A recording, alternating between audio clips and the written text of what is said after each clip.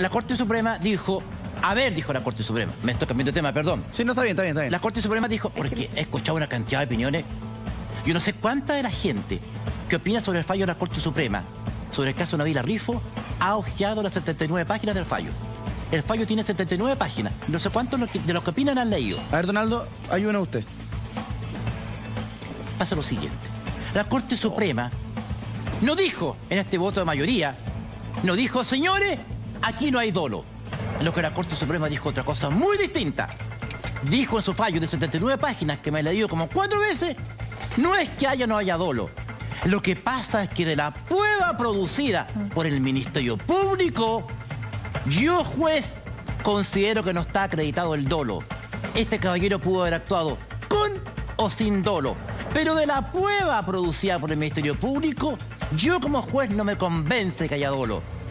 La prueba producida no es suficiente. No es que haya o no haya dolo.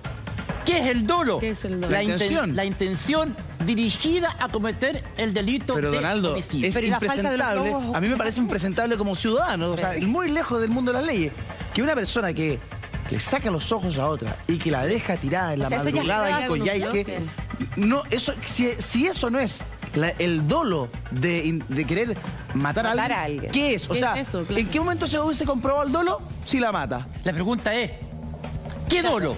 ¿Qué- cu- ¿Cuál era el Es que ahí límite? está, Claro, pues. Y ¿dónde de está hecho el eso límite? fue lo mismo que dijo Milton Juica, que yo le encuentro razón, yo, Yo tengo- yo también. comparto el punto de vista. Él dice, resulta absurdo sustituir el dolo de matar por el dolo de lesionar. ¿Cuál es el dolo? La pregunta es, Sí, Y vaya que Eso lesión. se llama el animus necandi.